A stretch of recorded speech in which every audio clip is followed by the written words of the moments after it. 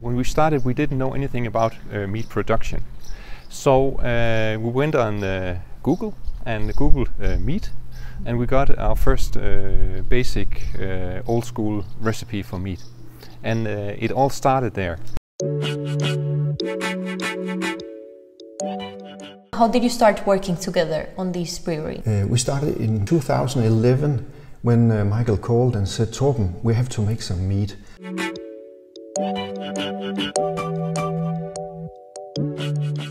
And I said no, because mead was, it was, uh, it was a, a really sticky, dark fluid in my mind.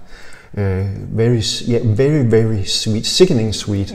So uh, you, you could drink a glass of it, but, but otherwise. And uh, but then I was thinking about it, and I said, okay, I'll buy some honey. And uh, Michael, he bought the, some of the, we use these uh, big uh, glass jars. So he bought a couple of those and cleaned them. And I, I bought the first honey from, from a beekeeper here in Malling. So I bought uh, 10 kilos from him or something like that. And we started. My name is uh, Michael Skødt Jørgensen, or Michael Skødt Jorgensen. You're a very niche within a niche We are, uh, yeah. company or, or environment. Yeah. So why is it uh, so niche that your mead is dry? Well, the traditional mead is sweet or really sweet. We have to be uh, faithful to ourselves here. So we don't we don't do or we don't uh, like the sweet one. So we have to make this uh, wine because this is what we like. So so uh, we we uh, specialize in dry meads. But we also do some semi-sweet meads, but not these traditional uh, really sweet wines. So probably the hangover is not as bad. I would say it's the same. It's the same. Yeah, yeah. I would like to know a bit more about your company. Well, we started in uh, 2011. I am, am a member of uh, Viking uh, reenactment group in Aarhus, and I realized that uh, mead was popular among Vikings. Uh, I wasn't actually into mead at the, this time because I thought it was too sweet, and uh, I, I didn't like it. It was too much for me. Then uh, I realized that uh, I could, uh, when you buy this Viking equipment, it's really expensive. Uh, I realized that uh, I could trade mead for equipment. And then I called uh, Torben and told him we have to do this mead because uh, we can use this as, as, a, as a currency. That's crazy. That's amazing. I didn't even know there was a group of, uh, how did you call it? A Viking? Viking reenactment. Reenactment Yeah. group. Yeah. What do you do inside this group and what kind of equipment do you trade for mead? Well, uh, the group is uh, a fighting group, so we do uh, uh, Viking fighting with swords and axes and spears, and uh, we meet two two times uh, a week and do this fencing, you can call it, um, and uh, you need a lot of gear to to uh, to be able to do this. So uh, that was when I realized mead could help me. It is said that mead is the mother of all wines. It's a really simple wine. It contains honey, water, and yeast, and that's it actually. Then you can put berries in it and herbs and stuff, but in its uh, base, it's just honey, water, and mead. That's just it. That's it. You can do it uh, home. Uh, and, it's really and how are you making it here?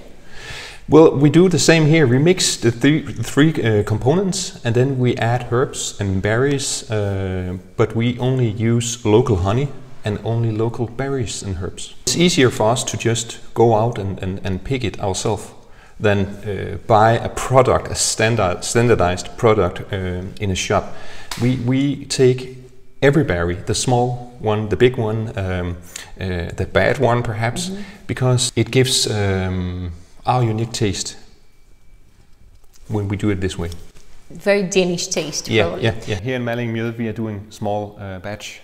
That means we are only uh, making around 200 liters a time, and uh, we are using plastic barrels like these ones, different styles.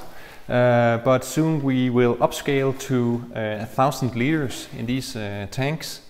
Um, it takes a lot of honey to make a tank around uh, 400 kilos. So uh, we are popular at the beekeeper's house right now. But let's have a look in one of these barrels. This one right here is going to be um, a sparkling mead. Let's have a look in it. You uh, can see uh, that it's not clear yet, but uh, it'll be filtered and it'll be put on uh, bottles, uh, champagne bottles, and hopefully it'll be uh, really nice and sparkly uh, next year. And of course, we can't call our sparkling mead uh, champagne because it's only champagne. Uh, but uh, we will call it uh, perhaps just sparkly mead. We can have a look in one of the more traditional meads we do. Like this one right here. It's a more traditional, it's in a dark barrel. This one is the slow uh, cherry. So the wine is dark as a red wine, but really a fresh and fruity uh, wine. And actually right now we are talking a lot about uh, food waste here in Denmark. And we are uh, in the future going to produce a spirit based on mead, uh, a mead product. Um, we are collecting, every, every time we do a, a barrel, we will have a, a, waste product. We are collecting these uh, waste products in, uh, in barrels and later on we'll make it into a spirit. So uh, a spirit made on mead. A lot of people ask us about our Elunmjød, uh, the smoky uh, butterscotch uh, mead we do. Uh, actually, uh, it's not that romantic actually, because uh, we don't have oak barrels. we have chips, oak chips, oak chips like these ones. And we use them because it's really easy for us to control the process. if we put our mead on a barrel, it'll get really, really intense oaky uh, undrinkable. This one, when we use uh, this this type of uh, smoked uh, oak, uh, we can control the process and we can uh, stop the process when we are certain that the wine is where we want it to be. Not romantic, but it does the same work as an oak barrel. Piece of wood, it's the same. This is chips. You can have a barrel.